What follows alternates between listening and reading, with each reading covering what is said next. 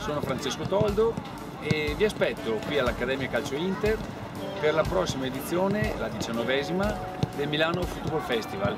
Insieme guarderemo e osserveremo tanti piccoli calciatori provenienti da tutto il mondo e insieme ci divertiremo.